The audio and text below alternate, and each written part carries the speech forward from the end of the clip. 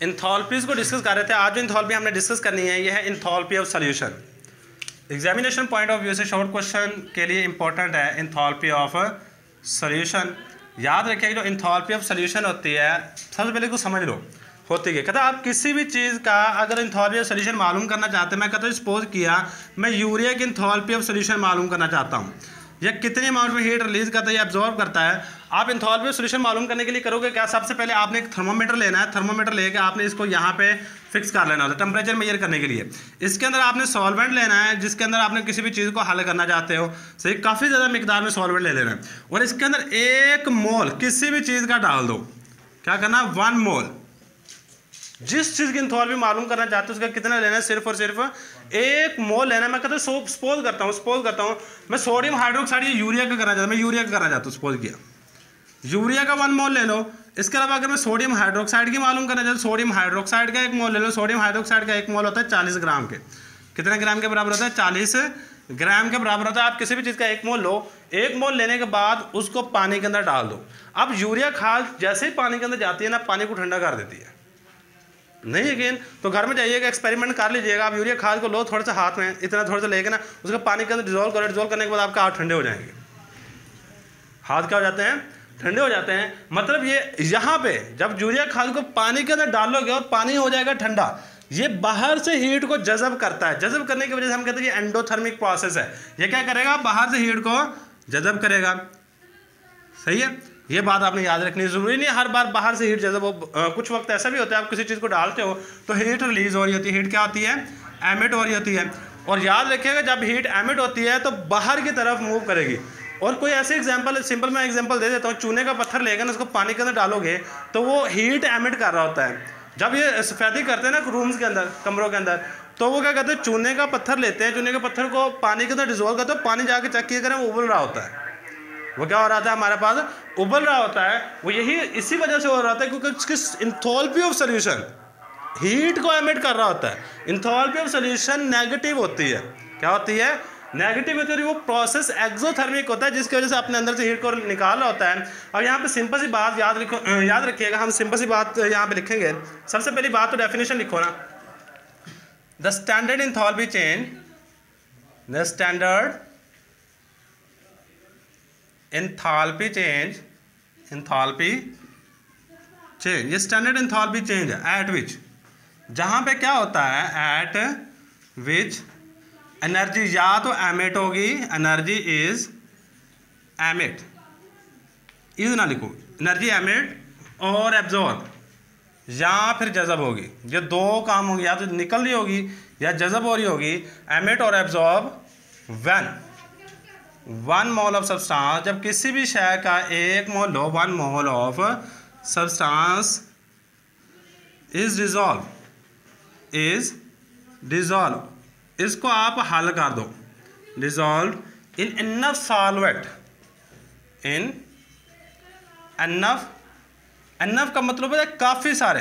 Enough solvent इतने solvent के अंदर हल कर दो, कि फर्दर डाल्यूशन अगर आप इसको मज़ीद पतला करो, further dilution cause, no, heat, या further dilution cause, no, heat change कर, नो, हीट चेंज। कि मज़ीद आपकी डाल्यूशन हो तो उसमें एनर्जी की तब्दीली ना आए, इस चीज़ को हम नाम देते हैं, इस card is card enthalpy solution क्या मतलब मैंने लास्ट में एक बात लिख दी है?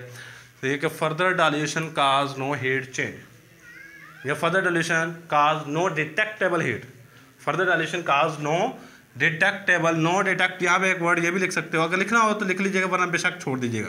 डिटेक्टेबल हीट चेंज अब मैं सिंपल सी एग्जांपल देता हूँ। आप यूरिया लोगे ना? मैं सपोज़ करता हूँ। यहाँ पे यूरिया खाद ले लिया पहले चालीस ग्राम। तो मैं इसके इंथॉल्पी और सोल्यूशन मालूम करना चाहता हूँ। आपने पहले दस ग्राम पानी डाला। कितने ग्राम पानी डाला? दस ग्राम पानी डाला तो एनर्जी कुछ ना कुछ पानी ठंडा हुआ। मैंने फिर दस ग्राम और पानी डाला। दस ग्राम पानी और डाला। पानी मज़ीद ठंडा हुआ। मैंने फिर दस ग्राम पानी और डाला। पानी मज़ीद ठंडा हुआ।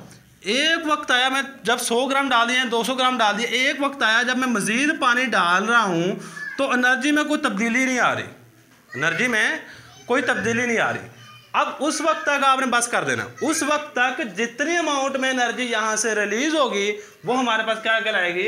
इंथॉल्पी ऑफ़ सोल्यूशन यहाँ पे देख लो हमारे पास क्या, मैंने कहा जी, आपने वो चीज़ लेनी है और उसको इतने सॉल्वेंट का एन का मतलब इतने इतने सॉल्वेंट के अंदर हल कर देना है कि अगर आप इसको मज़ीद पतला करते हो मतलब इसके अंदर मज़ीद पानी डालते हो तो इसके अंदर कोई एनर्जी चेंज ना आए। कोई एनर्जी ना कम हो रही हो, ना ज़्यादा हो रही हो। उस वक्त जो एनर्जी का चेंज आएगा, उसको इंथॉल्पी सोल्यूशन का नाम देते हैं। नेक्स्ट हमारे पास आ जाती है इसकी रिप्रेजेंटेशन क्या आ जाएगी? रिप्रेजेंटेशन रिप्रेजेंटेशन की अगर बात करूँ तो इसको रिप्रेजेंट करने के लिए delta H of S S की लिखा? Because it is of solution सही डेल्टा एच एस हम यूज़ करते हैं। प्रोसेस कौन सा होगा? नेक्स्ट हमारे पास बात आ जाती है। प्रोसेस कौन सा होगा? याद रखिएगा, ये हमारे पास एक्जोथर्मिक भी हो सकता है। एक्जो थर्मिक भी हो सकता है एंड एंडोथर्मिक भी हो सकता है। एंडो थर्मिक भी हो सकता है। मैं सिंपल सी एग्जांपल दे देता हूँ। यहाँ पे एक ही एग्जांपल काफ़ी होगी। सही, हमारे पास जो इंथॉल्पी ऑफ़ सॉल्यूशन है सोडियम कार्बोनेट की। The enthalpy of solution the enthalpy of solution of sodium carbonate of sodium carbonate sodium carbonate की जो इंथॉल्पी ऑफ़ सोल्यूशन होती है, ये हमारे पास 25 किलो जावल पर मोल होती है। और याद रखिए किसमें होती है? माइनस में होती है। ये किसमें होती है? माइनस के अंदर होती है। भाई, ये बात याद रखनी है, ये हमारे पास एक एग्जांपल आ गई है। प्रोसेस कौन सा है? रिप्रेजेंटेशन किस तरह करते हैं? इंथॉल्पी सोल्यूशन से मुराद क्या है? मेन चीज़ें जी, आपने याद रखना है इंथॉल्पी सोल्यूशन अगर आता है तो उसका मतलब क्या है? तो ये तकरीबन तकरीबन डेफिनेशन सेम है, सिर्फ़ दरमियान के अंदर चंद एक वर्डिंग इस्तेमाल होती है चेंज करते हैं। अगर न्यूट्रलाइजेशन आता है तो इंथॉल्पी चेंज है वन एक मोल एसड एक मोल बेस आपस में रिएक्ट करें रिएक्ट करने के बाद जितनी अमाउंट में एनर्जी लीज होती है, उसको इंथॉल्पी न्यूट्रलाइजेशन कहते हैं। अगर इंथॉल्पी ऑफ़ फॉर्मेशन आता है तो रिएक्टेंट या कोई चीज़ मिल के कोई नई चीज़ बना दे। New substances form from other substance या रिएक्टेंट इसको हम इंथॉल्पी ऑफ़ फॉर्मेशन कहते हैं। इंथॉल्पी ऑफ़ रिएक्शन से क्या मुराद होगा? ऐसा इंथॉल्पी चेंज जब कोई भी रिएक्टेंट मिलते हैं रिएक्टेंट मिलने के बाद प्रोडक्ट बना दे। उस वजह एनर्जी का चेंज आएगा इंथॉल्पी ऑफ़ रिएक्शन है। सही, यानी कि बिल्कुल सिंपल सिंपल सी चीज़ें हैं। अगर आप वर्ड पे गौर करोगे वर्ड को देख के डेफिनेशन कर सकते हो, और वर्ड को देख के आप रिप्रेजेंटेशन कर सकते हो। याद कौन सी चीज़ें करनी पड़ेंगी? आपको ये ये दो चीज़ें याद करनी पड़ती हैं कि आया ये प्रोसेस एक्जोथर्मिक है एंडोथर्मिक है, और ये वाली चीज़ें याद रखिएगा, ये इंपॉर्टेंट बहुत ज़्यादा इंपॉर्टेंट होती हैं फॉर एम कैट अगर आप इन डिटेल्स देना चाहते हो ना डॉक्टरी के लिए, वहाँ भी ये चीज़ें पूछता है। वो कहेगा enthalpy of neutralization is always exothermic endothermic both A and B या एर्जो एनर्जिक या एर्जो थर्मिक या एक्जोअर्जिक इस तरह कुछ आ, अपने तरफ़ से कुछ टर्म ऐड कर सकता है। सही है तो आपने बताना होगा कि ये कौन सी होती हैं? कि दोनों हो सकती हैं ये ये वाली है ये ये वाली है इनमें से कोई भी नहीं है। ये चीज़ें आती हैं एम में। ये एमसीक्यू के हवाले से काफ़ी ज़्यादा इंपॉर्टेंट है यही बात याद रखिएगा। अल्लाह हाफिज़।